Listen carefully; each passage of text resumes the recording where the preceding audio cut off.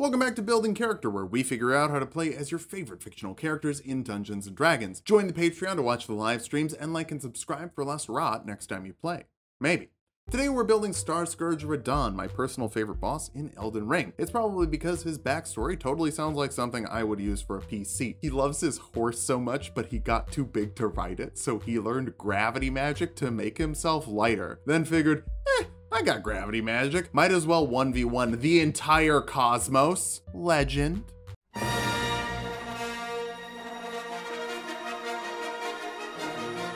Let's start off with our goals for this build. First, we need to be large and in squarge, becoming a big boy and slamming down with the heaviest weapons. Next, we need to take our horse to the Old Town Road and ride until we can't no more, which is forever. You can't be killed. Finally, we need to make it rain. Meteors! Hey, if you like building character and Elden Ring, we're doing building character in Elden Ring on this channel. So subscribe and then you can watch all those videos. We've done Batman, Wolverine, Link, and Obi-Wan so far. Go check those videos out after this one. Thank you. For stats, we're using the standard point buy from the player's handbook. Roll for stats if you want, just keep an eye on those multi-classing minimums. Strength and intelligence up at 15. You're the biggest of boys, that means you have the biggest of brains. Wisdom at 13. Animal handling is important if you're going to be riding your horse through space. Charisma and constitution are lower at 10. You're intimidating, but not great at talking since the whole rot, affliction, cannibalism thing, and your defenses have been lowered because of the uh, rot affliction thing. Your sister really screwed you over. My two fingers are crossed for a full-powered Radahn time travel boss fight in the DLC. Dexterity at 8. Subtlety is for fools and cowards. It's also how you use bows, which might seem important, but I'll have a better option for you. Don't worry. Radahn is the son of the moon and Radagon, so he's a bit divine. That's good enough for me to call him an Aasimar, specifically a Scourge Aasimar. It's so perfect, it's even got Scourge right in the name. Bump your strength by 2 and your intelligence by 1 with your 2 free points. Enjoy 60 feet of dark vision, celestial resistance to resist necrotic and radiant damage. Holy is his highest resistance after all. The game doesn't like holy damage. Healing Hands lets you heal a creature as an action, an amount of times equal to your total level, but he doesn't use it on himself. He uses it on his horse. The horse can't die, it's too perfect. Build your own background for Arcana and Animal Handling, and we'll grab other skills we need from the starting class. That would be Fighter, by the way, letting you grab two skills from the Fighter list, like Athletics and Intimidation. It's the Soldier background. You're both a soldier and a scholar, but we'll get Fighter stuff first. It gives you heavy armor proficiency and a fighting style. Two weapon fighting lets you add your ability modifier to the damage of an offhand weapon attack. If only we could use weapons that weren't light for that. You also get Second Wind, letting you heal 1d10 plus your fighter level as a bonus action once per short rest. I can't imagine it's easy fighting constellations. Second level fighters get an action surge, letting you make two actions in one turn once per short rest, letting you string together a combo that is just too dang long. How many hits are in this thing? Leave me alone! Oh my god! Third level fighters can get large if you choose the Rune Knight martial archetype. That allows you to activate Giant's Might, turning your size to large and letting you add a d6 of extra damage to one weapon attack per round. Bigger sword, bigger smash. Simple math. You also get two runes you can activate to make yourself better. The Frost rune will give you advantage on animal handling and intimidation checks, and you can add two to your strength and constitution checks for 10 minutes once per short rest. The Cloud rune gives you advantage on deception and sleight of hand checks, not why I'm grabbing it. Instead, I want to redirect an attack that should hit one creature within 30 feet of you to hit another creature instead. Take hits for your horse, even if you don't actually have that much health anymore. You'd give your kingdom for a horse. This is also the level that Scourge Aasimar get to activate Radiant Consumption, dealing half your level in radiant damage to creatures within 10 feet of you, and you can add your level in radiant damage to one attack per round. Put a little starlight on those slams. Four level fighters get an ability score improvement or feat. The dual wielder feat lets you use two weapon fighting with any two weapons as long as they don't have the heavy property. That means two long swords is a go, and you can even get plus one to your AC while wielding two weapons. It's a gift that keeps on giving. Fifth level fighters get an extra attack, letting you make two attacks with your action, or up to four with an action surge, or five with a bonus action offhand attack afterwards, all with bigger swords thanks to that dual wielder feat. Sixth level fighters get another ability score improvement, bump your strength and wisdom scores. Odd numbers don't do anything for you, so you might as well increase your animal handling while increasing how hard you slam. Seventh level rune knights get runic shield, letting you force an enemy attacking an ally to re-roll their attack roll, hopefully causing them to miss Leonard. That's right, that's Radahn's horse's name. God, I love that he named his horse a person name. Such a goofball. Eight level fighters get another ability score improvement, cap off your strength to hit things as hard as possible. Like maybe one of the 12 people who are coming after you at the same time. At after you were blighted by Malenia. It's so unfair. They should have brought at least 20. Ninth level fighters get Indomitable, letting you reroll a failed saving throw once per long rest. It's the only way to live through Malenia's Rot Dive. Caelid failed to save, but Radahn passed. 10th level Rune Knights get Giant Stature, making you permanently 3d4 inches taller, and your Giant's Might bonus damage upgrades to a d8. Oh no! What if we're too big for Leonard? Let's go get some gravity magic. We'll do that as a wizard. If you think his muscles are big, you haven't seen his brain.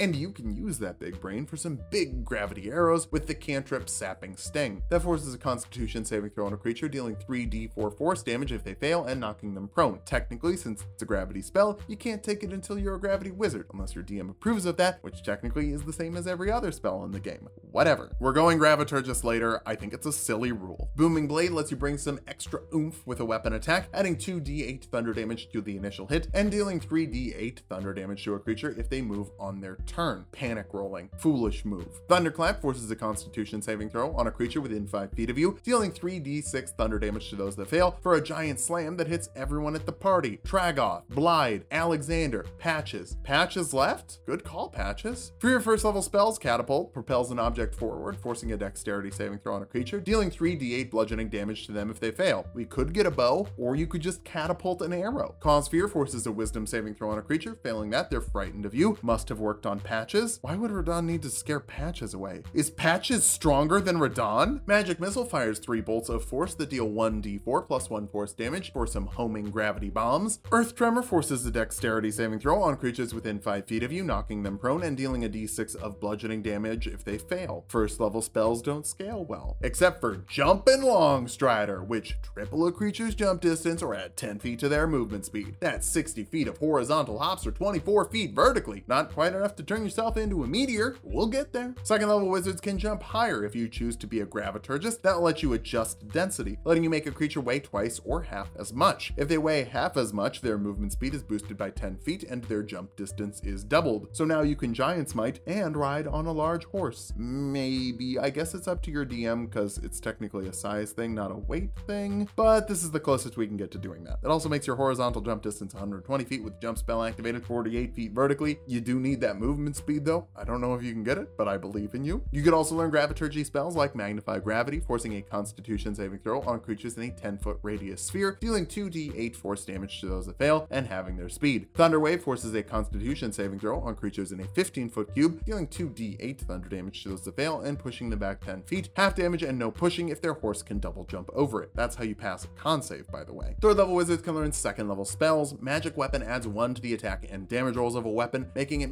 magical in terms of overcoming resistances. It lasts for an hour, but requires your concentration and wouldn't apply to both weapons. I think you have better options. Like Enlarge Reduce, which makes a creature one size larger, gives them advantage on strength checks and saves, and adds a d4 of extra damage to their attacks with weapons. Mix it with your Giant's Might, and you are now huge size, too big for any horse. But you're probably so big you could have Leonard ride between your legs and pretend you're riding it. He just loves going for a little gallop. What a good boy. Fourth level wizards get another ability score improvement, working intelligence for better gravity magic. We could also grab two more spells, but I don't need any. Grab something you like. Fifth level wizards can learn third level spells. Phantom Steed summons a horse with a speed of 100 feet and hangs out for an hour and doesn't require any concentration. The Radahn Festival is not going to last an hour. It's the kind of party where everyone's on the floor in five minutes or less. Radahn parties like Andrew WK going Super Saiyan. Melf's Minute Meteors summon six floating meteors you can send down as a bonus action on following turns, forcing a dexterity saving throw on creatures inside and dealing 2d6 fire damage to those that fail. They're honestly pretty easy to dodge and it's the best time to hit him when he summons them. Sixth level Graviturgy wizards can use Gravity Good with Gravity Well, moving a creature 5 feet when you hit them with a spell attack, they fail a saving throw against a spell you cast, or they just want to move and you cast a spell on them. That means you could use it offensively on a Tarnished or supportively on Leonard. For this level spell, Fly gives a creature a 60 foot flying speed for up to 10 minutes depending on your concentration. You're a great jumper, but this will let you cowabunga up to the stars. Pulse Wave forces a constitution saving throw on creatures in a 30 foot cone in front of you, dealing 6d6 force damage and pulling or pushing them 15 feet from you, depending on what you like. Half damage and no movement if they double jump the wave. That is how you pass the constitution saving throws, I'm telling you. Seventh level wizards can learn fourth level spells. Gravity Sinkhole forces a constitution saving throw on creatures in a 20 foot radius sphere, dealing 5d10 force damage to those that fail and pulling them closer to the center. We don't really need any other fourth level spells, they're just not that cool. Definitely my least favorite spell level. Eighth level wizards get another ability score improvement. Movement, cap off your intelligence modifier for maximum casting power. Casters use their arms to cast, more of them should hit the gym for bigger casters, obviously. Back over to fighter now, 11th level fighters get an extra attack, letting you make 3 attacks with your action instead of 2, or 6 with an action surge, or 7 with your offhand bonus weapon attack after an action surge. If you're enlarged, that's 78 plus 74 plus 35 in a single combo, or around 77 with median rolls. Our capstone is the 12th level of fighter for one last ability score improvement or feat. Obviously, we need the mounted combatant feat. That lets you take hits for your mount. If your mount passes a dexterity saving throw, they take no damage instead of half, and they take half damage on a failed dexterity saving throw, and you have advantage to checks against falling off your mount. Just lean in and take the hits for Leonard. You can handle it. You took the rot bomb from Malenia. Now that we've hit level 20, let's figure out how viable this build is. First, enlarge reduce with two weapon fighting, and long swords means your standard round is four attacks that deal 1d8 plus 1d4 plus 5 damage each. Basically, what you'd be doing if you were a full level 20 fighter. But instead of being all fighter, you also have access to a plethora of gravity magic to control enemy position or do massive AoEs to hit whole festivals worth of foes. Finally, you're hard to get away from, with mobility options like a magic horse, extra speed from fly or long strider, and the ability to cover a 15 by 15 foot square within large and giant's might. For weaknesses, you have too many concentration options, even more than a standard caster, because apparently Graviturgist's ability to make someone weigh less would be so OP if it didn't have concentration.